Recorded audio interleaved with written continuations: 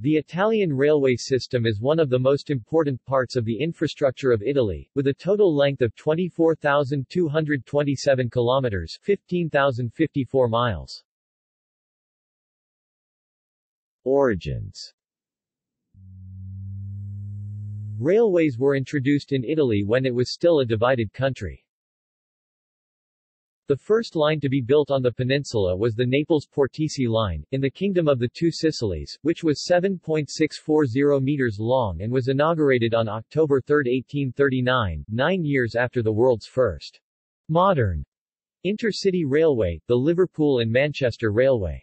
The following year the firm Holzhammer of Bolzano was granted the imperial royal privilege to build the Milano-Monza line 12 kilometers, in the then Kingdom of Lombardy-Venetia, a puppet state of the Austrian Empire. On request of the Milanese and Venetian industries, but also for the already clear military importance, construction of the Milan-Venice line was begun. In 1842 the Padua-Mestre stretch of 32 kilometers was inaugurated, followed in 1846 by the Milan-Treviglio 32 kilometers and Padua-Vicenza 30 kilometers, as well as the bridge spanning the lagoon of Venice.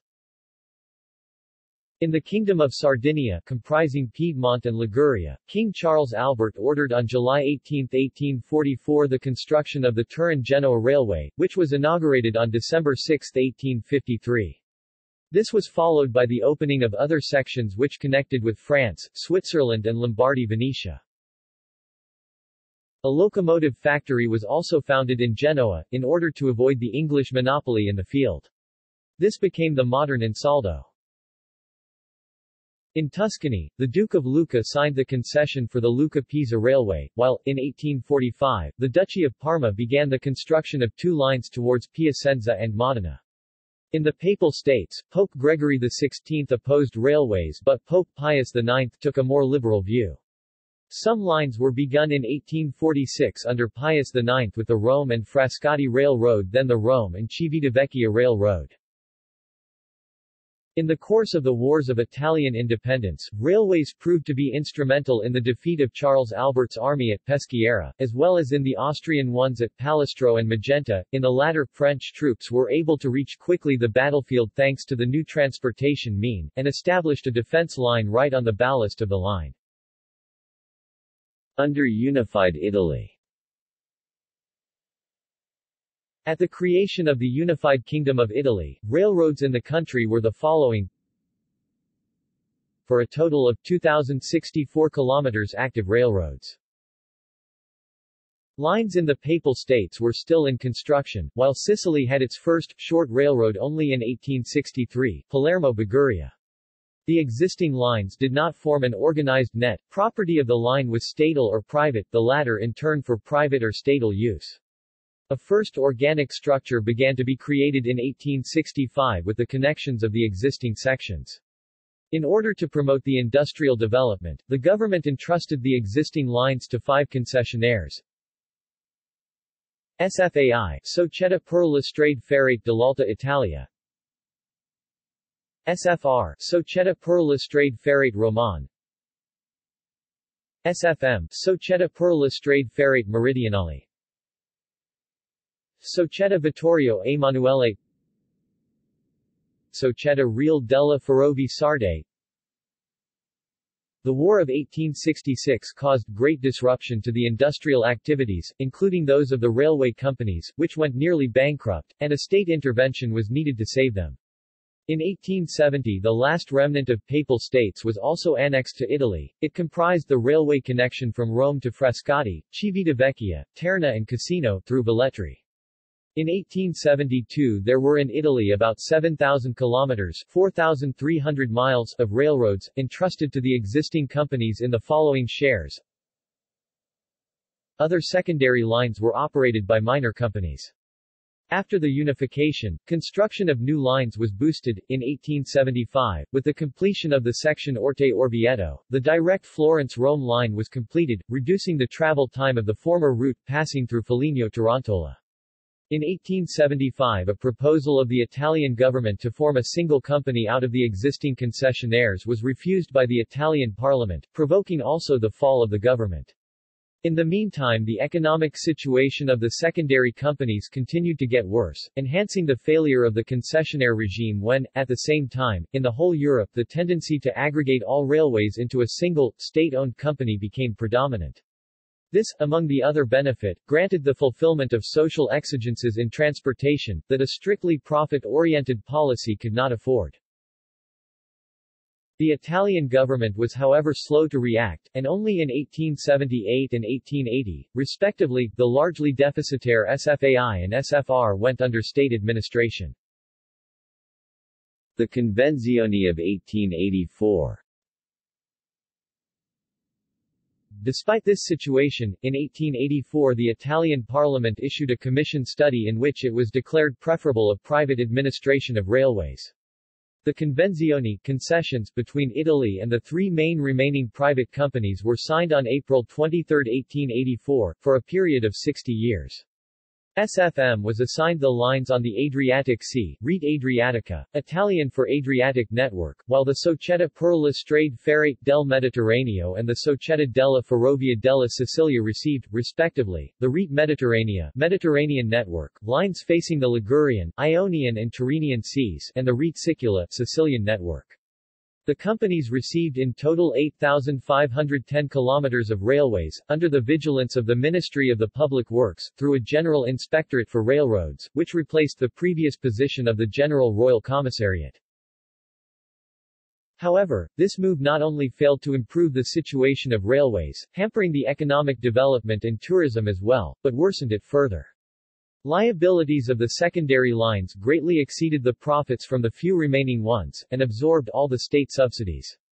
By the 1880s the Italian railways amounted to 10,510 kilometers. Ferrovie dello Stato Private companies were definitively bought back by the Italian state on July 1, 1905, with the creation of the Ferrovie dello Stato State Railways, or FFSS, with a total of 10,557 kilometers 6,560 miles of lines, of which it already owned 9,686 kilometers 6,019 miles. The move was completed the following year with the acquisition of the remaining SFM network. By then FFSS possessed 13,075 kilometers, 8,124 miles of lines, of which 1,917 kilometers with double tracks. A general director was appointed, the Piedmontese engineer Riccardo Bianchi, who had held the same position for the Ferrovie Sicule. A general direction was created, with 13 central services and two general inspectorates, based in Rome. For peripheral operations, eight compartmental directions were created. A capable and respected organizer, he had received a grievous heritage from the previous organizational chaos. The worst problem was the rolling stock. FFSS had 2,664 steam locomotives, 738 with more than 30 years of service. Passenger cars were 6,985, mostly older than 30 years. Freight cars were 52,778, with one-fifth older than 40 years. The first urgent measure was construction in 1905-06 of 567 new locomotives, 1,244 passenger cars including the first provided with bogies and 20,263 freight cars. Under Bianchi, the FFSS rapidly modernized, the semaphore system was introduced, and centralized hydrodynamic switches and signals were added in the main stations, which were updated or built from scratch. Electrification, already used on the lines around Varese and in Valtellina, was expanded, particularly in the north of Italy, using the three-phase AC system. Bianchi's direction lasted for 10 years. Under his successor, Ing. de Corn, the FFSS was involved in the Italian effort in World War I, from May 24, 1915. The company suffered much destruction, and after the end of the conflict, had new problems from the incorporation of lines in the new territories lost by Austria, with different equipment and rules. Fascist era the period from 1922 to 1939 was heavy with important construction and modernization programs for the Italian railways, which also incorporated 400 kilometers 250 miles from the Ferrovie Reale Sarde of Sardinia. The most important program was that of the Rome-Naples and Bologna-Florence Direttissimas. Most direct lines. The first reduced the travel time from the two cities by an hour and a half, the second, announced proudly as constructing fascism, included the second longest tunnel in the world at the time. Electrification on 3000 volts direct current was introduced, which later supplanted the existing three-phase system. Other improvements included automatic blocks, light signals, construction of numerous main stations Milan Central, Napoli Mergellina, Roma Ostiense and others, and other technical modernizations. The rolling stock was enhanced from 1933 by DMU and EMU, nicknamed Littorine from the lictorial symbols of the fascist regime. The Italian emus Elettrotreni, in particular, started the traditional vanguard position of Italy in the field. On 6 December 1937 an ETR 200 traveled on the Rome-Naples line at a speed of 201 km per hour 125 miles per hour in the Campoleone-Cisterna section. Two years later the same train reached 203 km per hour 126 miles per hour on the Milan-Florence line. In this period food trains made up of refrigerated wagons started to run from southern to northern Italy, and abroad. The Ferrovie dello Stato were moved from the Ministry of Public Works to the newly formed Ministry of Transports. From World War II to the 1970s The war left railways in Italy in a disrupted state. Entire lines were out of work and much of the rolling stock destroyed. Thanks to the Marshall Plan, in the following years they could be rebuilt, although the possibility of reorganizing the network was missed due to short-sighted policies. The fundamental line Battipaglia-Reggio Calabria was doubled, while a program of updating of infrastructures, superstructures, services, color light signaling and cars was updated or extended. The three-phase lines were gradually turned into standard 3000 volts DC lines. Increasing numbers of steam locomotives were replaced by electric or diesel ones. In the 1960s also the first unified passenger cars appeared and the first attempts of interoperability with foreign companies were started, culminating in the creation of Trans-Europe Express services. More modern ferries for the service over the Strait of Messina were introduced and, in 1961, a similar service was begun to Sardinia, although not providing transport of railway cars. High-speed projects In the 1960s the FS started an innovative project for high-speed trains. E.444 locomotives were the first standard locomotives capable of 200 km per hour of speed, while an ALe 601 EMU reached a speed of 240 km per hour during a test.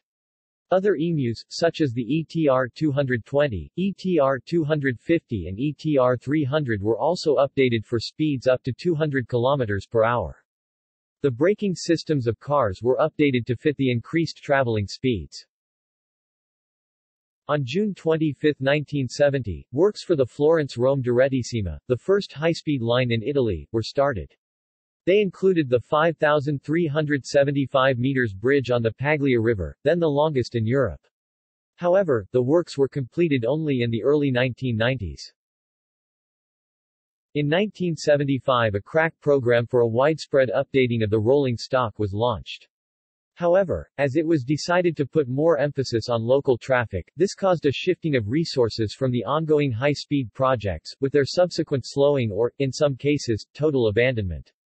Therefore, 160E.656 electric and 35D.345 locomotives for short-medium-range traffic were acquired, together with 80 EMUs of the AL 801-940th class, 120 ALN 668 diesel railcars. Some 1,000 much-needed passenger and 7,000 freight new cars were also ordered. From 1980s onwards the 1980s were a controversial period. Despite the recent efforts, the average age of the rolling stock increased, especially on secondary lines, late running was frequent and the freight sector lost ground in favor of road transportation.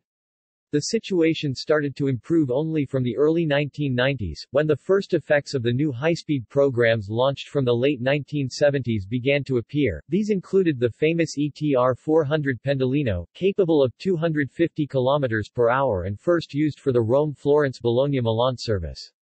These were later replaced by the more advanced ETR 450 and ETR 500, the latter capable of speed up to 300 km per hour. Works on the high-speed lines continued, the Rome-Naples being opened in 2005. Other lines are under construction. In 2000 FS became a holding company which controls various companies, among which is Trenitalia, a limited society.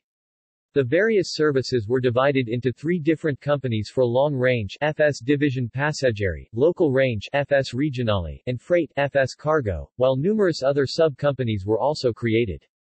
Property of the railroad was assigned to RFI Rete Ferroviaria Italiana from 2001, an FS company as well. Today railways in Italy continue to experience the difficulties and incongruities inherited from past times.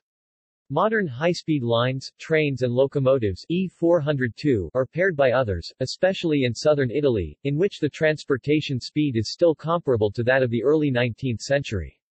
The freight sector has only recently showed signs of recovery from the long-term depressed state it has lived in through the 20th century. Commuter services are often causes of polemics due to poor services, in several cases necessary lines survive only through support of local authorities.